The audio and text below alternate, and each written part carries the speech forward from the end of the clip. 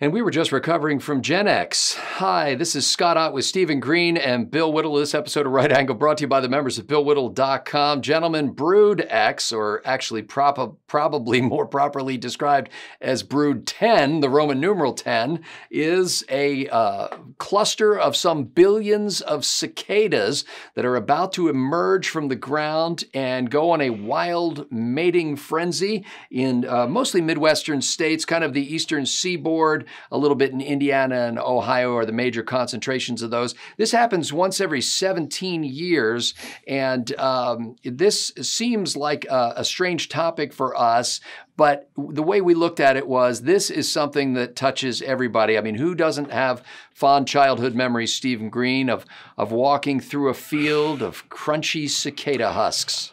Oh, it was it was like living inside a bowl of Rice Krispies that you just poured milk into.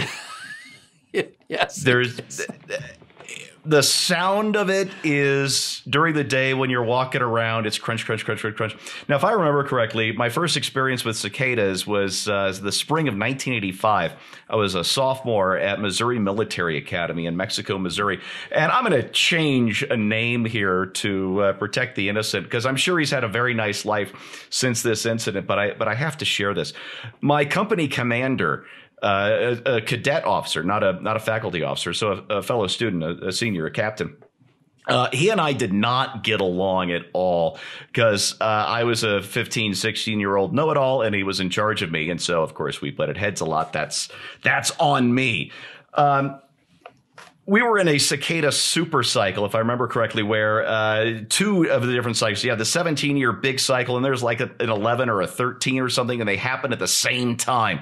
So just cicadas everywhere. Well, every Sunday we had a formal military review. You know, a, a, parade. You're standing at attentions while they're handing out whatever that week's award is. You're standing in the Missouri sunshine and the muggy heat in your dress blues, and it's sweaty and awful. And because of uh, happenstance, I happen to be front row center of my company uh, week after week, which means that when we're standing at attention and the company commander is facing the company, we're about uh, 15, 20 feet apart. And I would just stare at him. Sunday after Sunday, just staring him down. Now I'm staring, I'm always standing at perfect attention, so he can't actually do anything, but I'm just always doing this, right? Well, it's Mother's Day weekend, and since this is a boarding school, mothers have flown in not just from around the state of Missouri, not just from around the country, but from around the world. We had students uh, uh, from Italy, from Venezuela, from Mexico, all over the place. And this is not a big school. We had like 350 kids. Nevertheless, all of these moms decked out for Mother's Day, all of us in our dress blues in the sunshine. And when it comes time for the uh, the faculty brass to troop the line, that is to to march around us and make sure we're all squared away. The order is given to go from parade rest to attention. And the way that works is the company commander snaps himself to attention, you know, brings a sword up against his shoulder and says, Company! And the platoon leaders echo the command. They say platoon as they snap to attention. And then the company commander gives the actual order to come to attention, which is a 10 hut. Well, he shouts, Hut 10! And a cicada flies in his mouth. And he did not say hut next. In fact, he shouted an S word expletive so loudly that I think they heard him halfway across the state at Wentworth Military Academy. I turned beet red. I am laughing so hard, but still standing at perfect attention that I had cramps up and down my rib cage that I can still feel to this day. That's my cicada story. I hope everybody gets something that they can tell just as well sometime down the road. Now, Bill Whittle, uh, there's certainly going to be enough jokes as these things start to take uh, wing and uh, and clinging to every tree and every branch in the area and making a roar that sounds like something between a lawnmower and a chainsaw. Uh, that people will be making jokes that you know after 2020 now we've got a plague of locusts, uh, but in fact these are rather benign. Uh, locusts, when they show up, actually eat everything, um, so they can strip a field bare of any kind of crop in a matter of minutes. Uh, the cicadas are like good democratic socialist. They just want to have sex.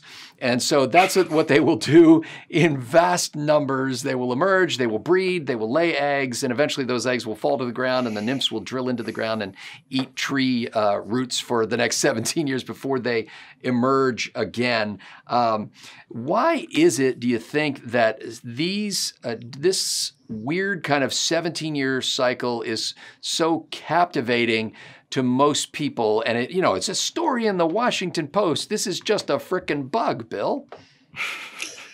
Well, it's a um, you know, plague of locusts is your uh, it's up there in terms of your overall things to avoid as far as biblical uh, nightmares are concerned. And coming off of you know 2020 to hear that there's a plague of locusts coming is probably enough to be, get people's attention. Now you go and spoil all the fun by telling me they don't actually eat anything. They're they're basically vegan locusts. They're social justice insects that just mill around and don't actually do anything. Uh, so you know, anytime you see nature out of control like that, it it, it kind of puts a, a like a really deep fear into human beings. So just any time an insect is an insect, you know, eh, squash that. But if we see enough insects to squash you all of a sudden in one place, then it gets to be a slightly different story. Uh, I don't have any experience with cicadas. Uh, I, I, grew up in Florida, so I'm more of a, a, guy with a lot of mayfly stories. Like the guy who started laughing when he flew through a mayfly, uh, drove through a mayfly swarm on his motorcycle, and he's pulling bugs out of his teeth for the next yeah. three days. So I will just wrap up this uh, piece of, of, of incisive political commentary uh, with this do not eat the cicadas. Um, and I can I can uh, tell you, I'm speaking from experience here. Uh, I went to uh, Thailand and I swore to myself I was never going to eat anything disgusting or gross down there, including and especially insects. But uh, the group of us went out, a bunch of uh, young, super straight males and I was an American. There were two Canadians. There was a, a, Brit and two Australians. So it's the entire Anglosphere represented, and they're all eating grasshoppers. And I couldn't let the team down. I couldn't be like the American guy says, "I don't know. I don't think I want to." So I did. Uh, it's not the taste, folks. If you if you ever do happen to get a cicada in your mouth, it's it's the it's the chitin. It, it's like it's like a grit that will not go away. You can drink you can drink water after water. Swish your meth out. You can try ice cream, nothing. Those little gritty particles are going to stay with you for three days. So take my advice on this, uh, youngsters. No matter what your TikTok uh, views will be, you don't want to go out there and start mowing the lawn with your mouth and chowing down on these things because you will regret it. Uh, satisfying though it may be, not to mention delicious. Now, most non human uh, beings are actually going to ignore Bill's advice, and this is really like an animal gourmand bacchanal when this happens because squirrels and everything else, possums, they're out there just eating these things. And literally, a lot of wild animals will eat cicadas until they kind of slip into a food coma, they, until they can't do it anymore. Pues sauvage. When the last time this happened in 2004, I had just started as a director of a Christian children's camp that was set in uh, rural Pennsylvania on about 72 acres of wooded land. And I can remember um, welcoming uh, one of the families to the camp, and we were standing outside talking to each other.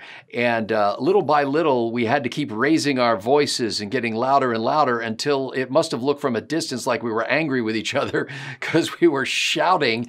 And you had to shout as uh, who was this that uh, sang this? It was the police, wasn't it? Uh, we had to shout above the din of our Rice Krispies, as Sting uh, once sang.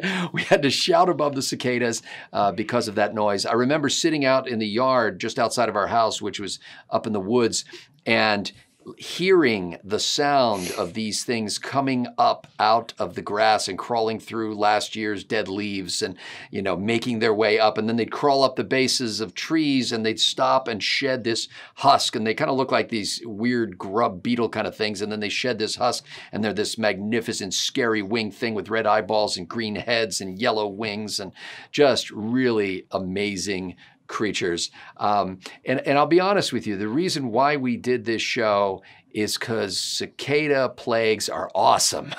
it is really it is really cool to think of an acre of land might have one and a half million cicadas on it they're going to come up out of the ground and like mayflies in a sense they come out they breed they die and in this case though we don't see them next year.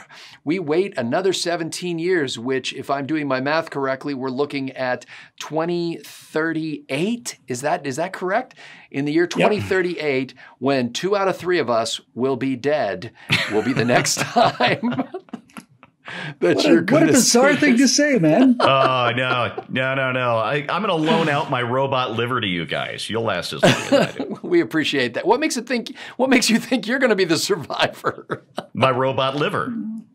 Well, that's the fair. oldest. So, yeah. ladies and gentlemen, I encourage you uh, to get as much information about these cicadas as you can, uh, fulfilling the historical mission of Right Angle here. Uh, they just the, did. the educational devotion that we have here, and if you've got kids or grandkids and you live in any of the areas where this is happening, Get them outdoors. Get them out in the woods. Let them handle these things. They're not going to bite you. They're, they are kind of like you can pick them up and stick, and they'll hold onto your finger really tight. But let them do that kind of stuff. One of the fondest memories as a kid was picking up and playing with bugs. And if anything, that's what you should get out of this. Get the kids out of the house, stop the video games, and let them see one of the magnificent marvels of God's green earth. For Bill Whittle and Stephen Green, I'm Scott Ott. Thanks to the members at BillWhittle.com for making Right Angle possible.